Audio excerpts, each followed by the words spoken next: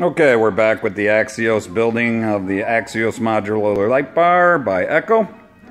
And you can purchase it at www.flashequipment.com. As I told you before, these are drop lock heads that you can install into the chassis. This customer would like alley lights. Do you see how easy that is? Here's the alley light, very bright. By the way, the uh, Axios light bar is Class 1 certificate, certified. Sorry about that. Twist lock, drop, and lock. Nice and easy. It's in there permanently until you decide to remove it.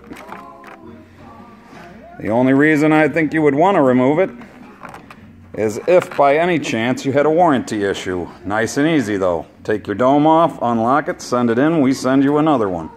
No waiting or downtime.